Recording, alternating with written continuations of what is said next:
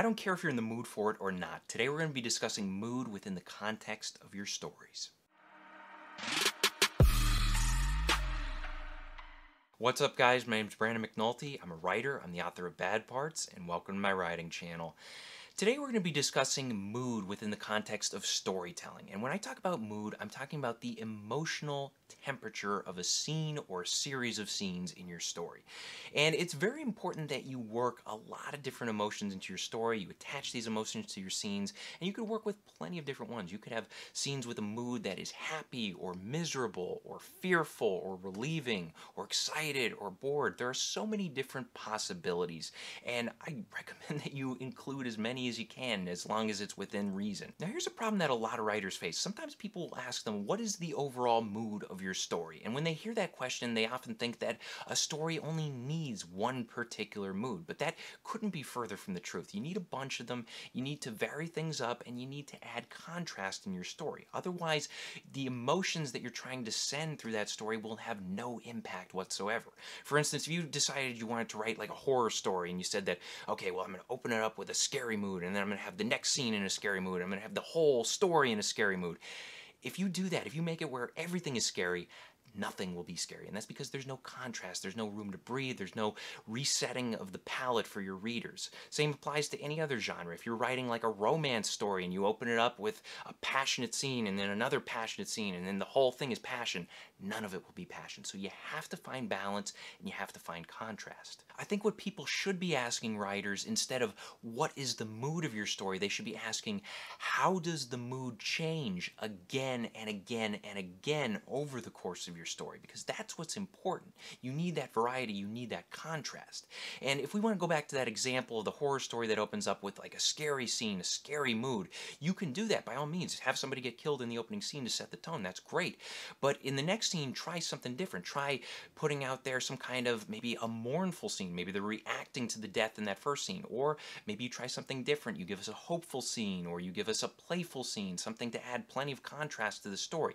Whatever you do is fine, but you need to realize that you can't just rely on one particular mood and stretch it out over the course of the story. Otherwise, you'll lose your audience. You want that variety in order to keep them engaged. Now, I have an example from John Wick on how the mood can change again and again over the course of the story. But before I do that, I want to give you one last piece of advice.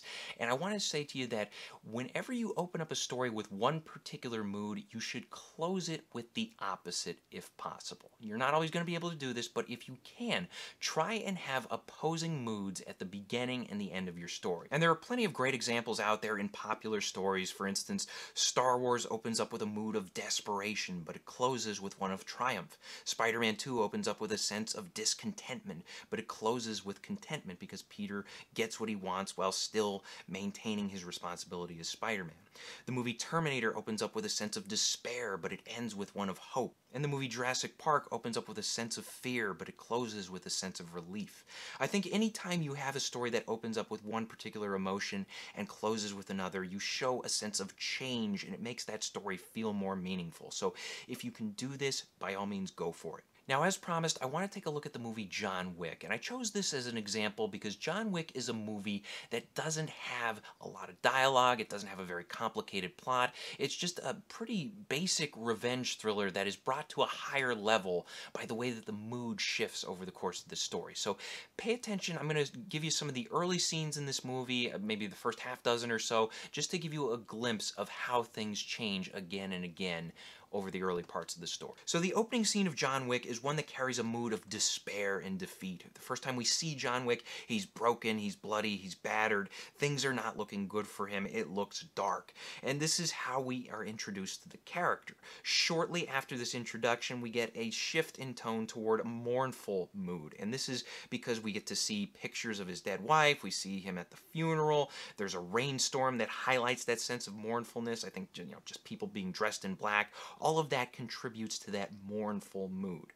But things shift shortly after that when John receives a puppy from his late wife, and she arranged for this puppy to be delivered while she was still alive. And when he receives it, there's a sense of hopefulness. That that hopefulness takes over here.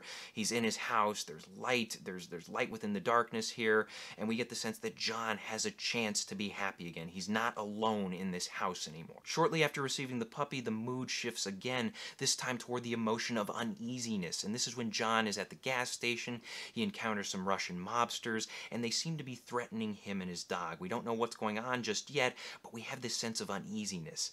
Eventually, that uneasiness pays off in terror in, in a following scene where John's house is broken into, he's beaten up, the dog is killed. There's terror, there's pain, there's mourning, and again, that mournfulness plays up again in the scene where he has to bury his dog.